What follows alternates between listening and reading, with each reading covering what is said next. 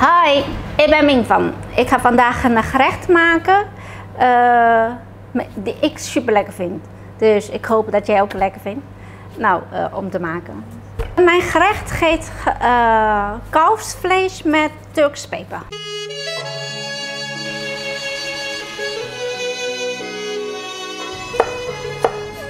Dit is de kalfsvlees. Dit is echt lekker. Lijkt op varkensvlees, maar dit is kalfsvlees die vet ga vetlaag ga ik allemaal weghalen. En wordt zometeen maar echt heerlijk gerecht. Heerlijk vlees is die. Om pittig te maken heb ik een uh, gedroogde peperstukjes. En om extra smaak te brengen heb ik uh, sterrenanijs, uh, knoflook, shallot. Natuurlijk, omdat ik uh, Turks pepergerecht ga maken, hebben we natuurlijk een hele zak Turks pepergerecht, peper. Het is elke keer mijn raadsel of die pittig is of niet. Dus uh, als die pittig is, dan hebben we pittig gerecht. Anders uh, moeten we pittigheid daarvan uithalen. Het is gewoon in ieder geval lekkere groente. En ook nog gember, niet vergeten. Beginnen met kalfsvlees fileren. In ieder geval de vetlagen weghalen. En dan op smaak brengen enzovoort. Nou, ik ben nu al begonnen eigenlijk. Vetlagen weghalen. Dus bij toeval dat ik dit toen heb gekocht en heb ik gewoon echt gekookt. Dat was zo lekker. Dacht ik moet echt met, uh, met je delen. Dit is uh, niet zo prijzig als uh, oshaas. Het is echt veel minder prijzig, maar ik vind smaak echt goed. Mag wel een beetje vet aan zitten, van mij. Want ik ben nogal van die vettig eten. Alleen maag is, vind ik minder lekker. Het is mooi schoon nou hè. En nu ga ik ze gewoon in uh, plakjes snijden. Hoe ga ik ze doen? Ga, laat ik hem zo doen.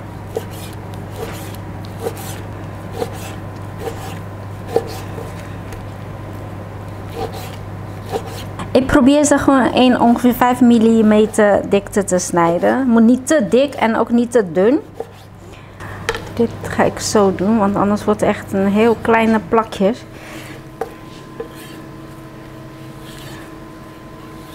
Hier is die klaar. Nu ga ik hem marineren. Die moet natuurlijk zo meteen wel lekker mous en sappig uh, blijven. Klein beetje zout. En klein beetje vetting. Die mag je weglaten als je er niet van houdt. Ik doe ook een beetje suiker erbij. Mag ook weglaten als je er niet van houdt. Dadelijk denk jij van, ja, van jou mag ik alles weglaten, dan hoef ik niet te koken. Dat kan ook. Peper, rijstwijn, een beetje oestersaus, goed mengen. Ik doe nog een beetje wijn erbij. Nog iets extra wijn. En dan ga ik ze gewoon zo mengen dat die nou vlees, wijn helemaal opneemt. Als jij nou uh, geen wijn eet, voor sommige vrienden die ik uh, heb, die kook graag, alleen die eet geen alcohol. Dus dan moet je gewoon, een, uh, gewoon mineraalwater erin doen. Gewoon water. De rijstwijn is nu helemaal opgenomen door het vlees. En nu ga ik een beetje aardappelzetmeel erbij doen. Dit heeft effect op het vlees zelf, dat hij dadelijk gewoon uh, mous wordt. Je, kent het wel, als je bij de Chinese eet houdt, vlees van buitenkant is lekker glad. En dat krijg je uh, door deze, uh, door de aardappelzetmeel eigenlijk. In plaats van uh, aardappelzetmeel kun je eventueel ook uh, gebruiken, mais maizena. Dus heeft ook hetzelfde effect. Is ook allemaal zetmeel. Nu is die helemaal uh, gemarineerd. En nu uh, laten we die gewoon een kwartiertje ongeveer uh, rusten. Maar voordat we dat gaan doen, gooi ik nog wat olie eroverheen. Jij denkt, hé hey, Ming van vergeet één stap hè. Dat klopt. Ik heb niks vergeten. Ik ben, ik ben niks vergeten. Kijk. Nu gaat die met folie eroverheen en even een kwartiertje in de koelkast. Zo, koelkast in.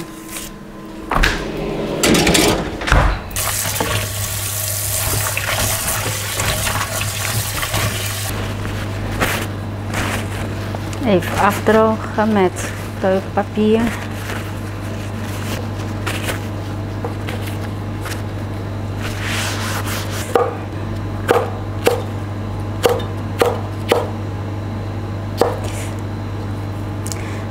Pitten kun je ook gewoon laten of je kan ook gewoon weghalen. Dat mag je zelf weten. Ik uh, hou van pittig. Ik hoop, ik hoop erg dat deze gewoon pittigere uh, peper is. Dan heb ik een lekker pittig gerecht.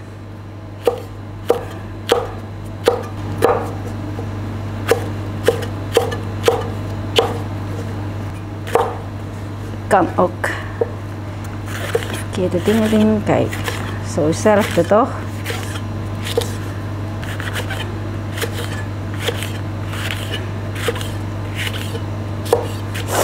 Volgens mij is deze peper wel een beetje pittig.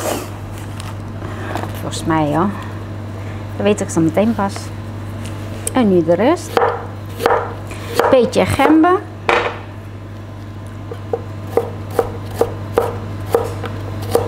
Die doe ik gewoon bij de peper. Want die ga ik toch uh, zo meteen op hetzelfde moment uh, ingooien. Dus uh, waarom doe je moeilijk de oven, hè? Grote knoflook.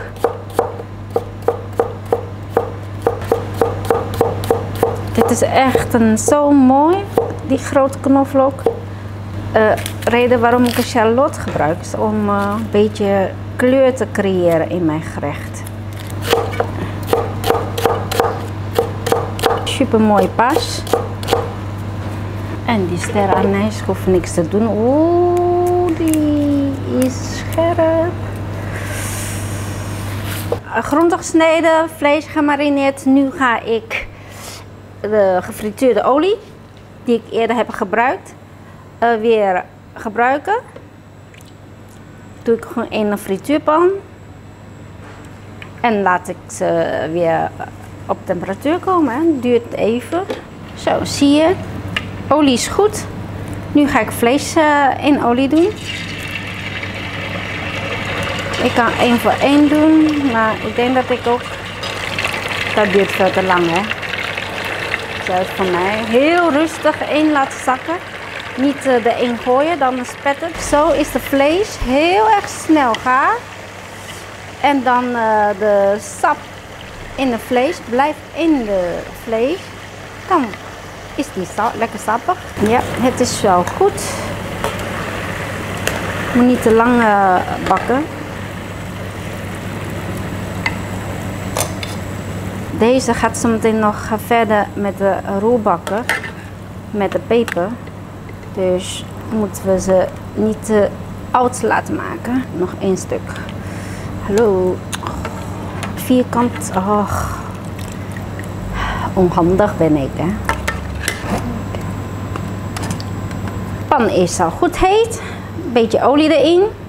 Niet te veel, want de, de vlees zometeen heeft ook al genoeg olie.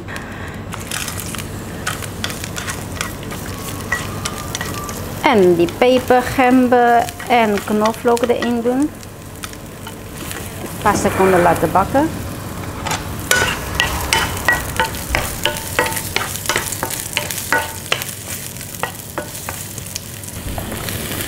Peper in.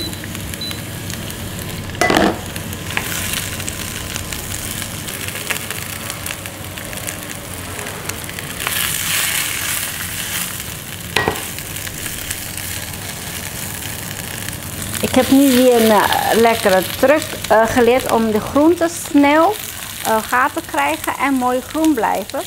Dat is nu gewoon zo doen en dan deksel op doen. Ongeveer 3-4 minuten zo laten koken, want als je de groente kookt, komt diezelfde vocht vrij.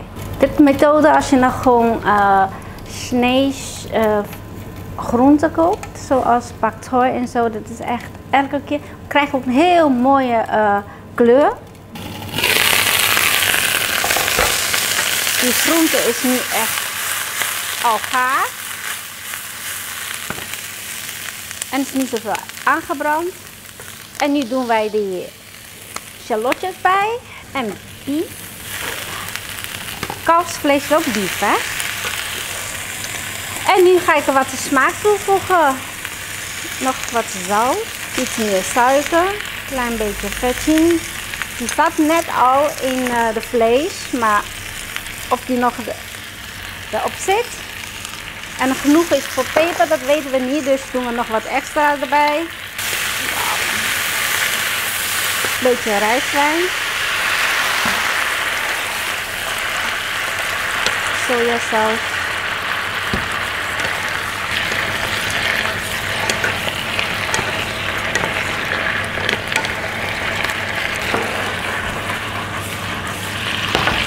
Klein beetje donkere sojasaus voor de kleur.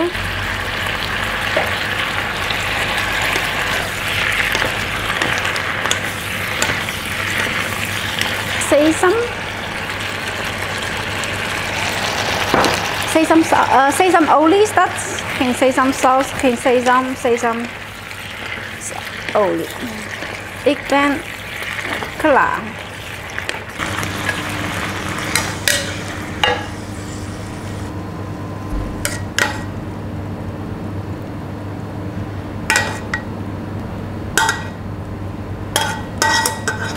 Het bord een beetje netjes maken. En die aangebrande dingen weggooien. Zo, hier is hem. Kalfsvlees met Turks peper. Eet smakelijk. Ta, tot de volgende keer. Om achter te komen of die peper deze keer pittig is of niet, ga ik gewoon proeven. Pak gewoon met hand.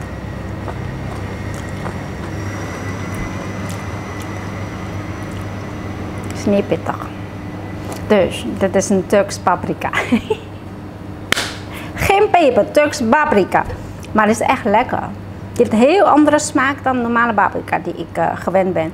Die normale paprika die wij, uh, van die rode grote en zo, die is eerder geschikt om rauw te eten. Maar dit is echt geschikt om roerbakken. Heel erg lekker. Ik ben heel erg trots op mezelf. Het is echt lekker. Fijn dat je kijkt naar mijn video's. Dit zijn de originele recepten en je kan ze nergens anders krijgen. Door de recepten te kopen in mijn receptshop help je mij mee om dit YouTube kanaal mogelijk te maken. Wij kunnen het niet doen zonder jouw bijdrage. Vergeet niet, aanschaf van de recepten verplicht je niet tot het bereiden van maaltijd.